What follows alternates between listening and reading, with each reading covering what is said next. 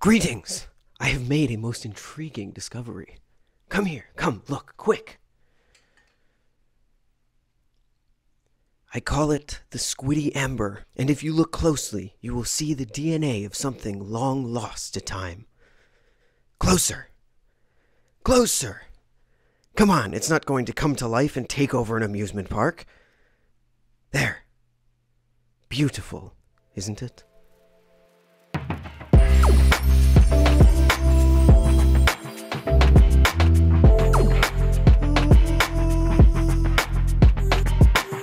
This is the Squiddy A, and no, this is not a quick draw. It's been a while since we've had a full review, hasn't it? Full disclosure, Squid Industries did send this product to me for free for the purpose of this review, but any and all opinions expressed within this video are my own and not influenced by Squid in any way. Along with the Squiddy A, Squid also sent me a bunch of cool stuff like stickers and a lanyard. Thanks, Squid. Here's a quick look at the unboxing experience of the Squiddy A. It comes in Squid's new pull tab box, and when you open up the box, you see that the Squiddy A is nestled within its little sheath. Getting it out of the sheath, you'll see that it comes with a cool little bite handle indicator, which all of Squid's Squiddy lineup now comes with. Very cool.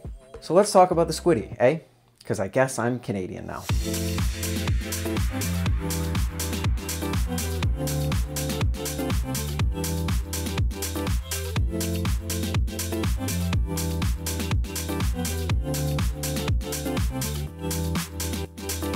The Squiddy A is the newest member of the Squiddy lineup, and it bears many resemblances to its predecessors.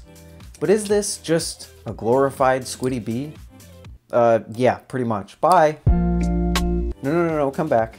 Despite the very similar design, I do think that the Squiddy A stands on its own as something more than just a glorified fresh coat of paint for the Squiddy B but not exactly in the ways you might expect. While the design of the blade might be exactly the same as previous Squiddy models, much like the glider lineup, it's the differences in the handles that really matter. The brushed acetal of the Squiddy B has been replaced with a amber colored translucent plastic called Ultem, which invokes the appearance of the now discontinued Squiddy C, while also showing off things like the hardware, pins, and washers throughout the handles. The blade may lose the transparency that the Squiddy C offered, but in return you get a black acetal blade that should hold up much better to damage and scuffs than the Squiddy C previously did. Overall, I quite like the look of the Squiddy A. The bronze and black color scheme is really nice in my opinion. The Ultem of the handles makes for one of the best feeling plastic balisongs in terms of quality, especially since Squid is not 3D printing these like other makers in the space. It doesn't help with tolerances at all, but anyone who really cares about tap on a plastic balisong has some bigger issues to work out. Speaking of Ultem,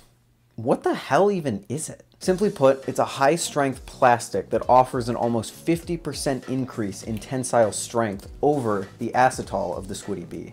This means that the handles, at least, of the Squiddy A will be much more durable in situations where the material is being pulled or stretched, while also positioning the Squiddy A as one of the most durable plastic balisongs on the market, at least in theory. With all this talk of durability in the Squiddy A though, I can't help but wonder if the Squiddy B really needed a durability bump in the first place. The Squiddy B was already a very durable flipper with my personal unit holding up to over a year of concrete drops and abuse and still flipping perfectly fine. I'm sure the extra durability doesn't hurt, especially in a plastic balisong, but when you take into account that this costs almost $20 more than the Squiddy B, it could feel like you're paying a good bit extra for just a bump in durability and a design change.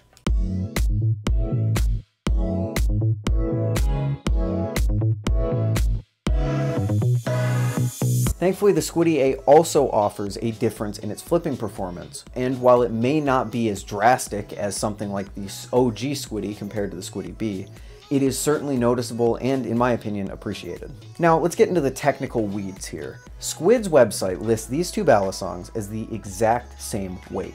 But digging into it and flipping them, I found that the Squiddy A's handle specifically felt lighter than the Squiddy B's.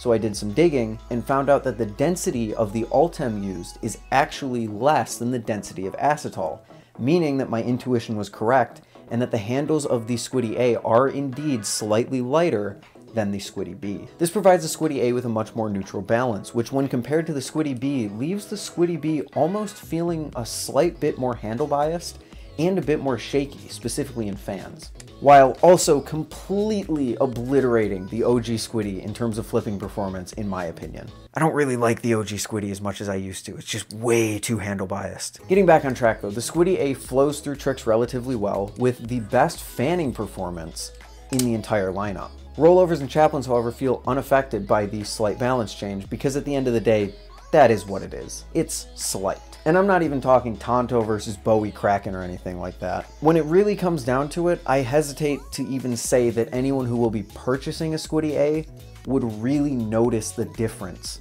in between these two as flippers. Meaning that if you're someone who already likes the Squiddy B, chances are the Squiddy A is also going to be good in your book. At the end of the day, they're both Squiddies, and specifically the Squiddy B's cousins, the Squiddy U and the now discontinued Squiddy C, haven't really had any crazy design changes, meaning that there's only so much that's going to change. The slightly more neutral balance could be something that you're after, but if you already have a Squiddy B, is this really worth getting, especially for the $20 extra? Unfortunately, while Ultem may be responsible for most of the Squiddy A's strengths, such as its more neutral balance and its higher durability, as well as its pretty nice looking design, it's also responsible for many of the Squiddy A's weaknesses in my eyes. First of all, the Squiddy A is slippery very slippery. Squid's own website says that Ultem is supposed to be used in applications where low friction is needed, and unfortunately, friction is what provides grip, especially on a balisong that has no texture or jimping of any kind. If you're in a humid environment, it's fine. But if your hands are dry, or heaven forbid it's cold out, good luck.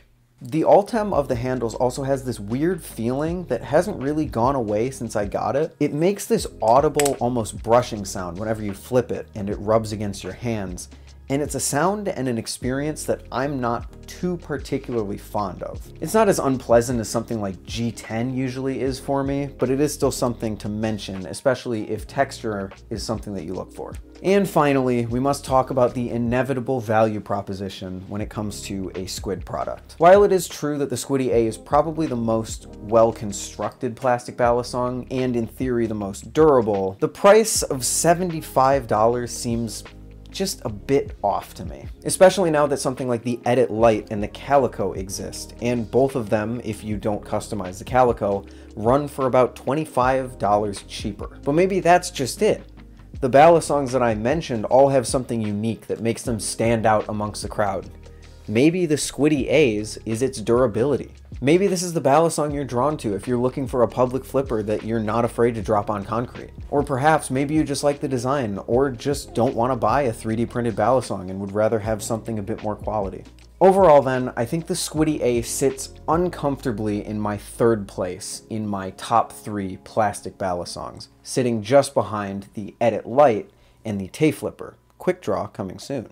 Ooh. Although, to be honest, I see this easily getting knocked out by other designs that I haven't had a chance to try yet, like the Cycloid V2, I'm coming for you or future plastic balisongs in general as the other makers refine their process and improve the products that they put out. So in short, is it good?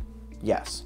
Does it stand on its own as a member of the Squiddy lineup? Mostly, I would say. But mainly if you're looking for something that's going to be a bit more durable that you can flip in public. If that's not something you're looking for, however, I would recommend the much cheaper options on the market, all of which I definitely think flip a little bit better and just have that unique little pizzazz that some people are looking for when they're asking if they should add a balisong to their collection. So that's the Squiddy A.